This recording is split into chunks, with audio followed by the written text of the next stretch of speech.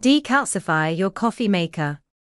You should decalcify your coffee maker every month with vinegar. To do so, fill the reservoir with equal parts vinegar and water, and place a paper filter into the machine's empty basket. Put your pot in place, brew the solution halfway, and then turn off the machine.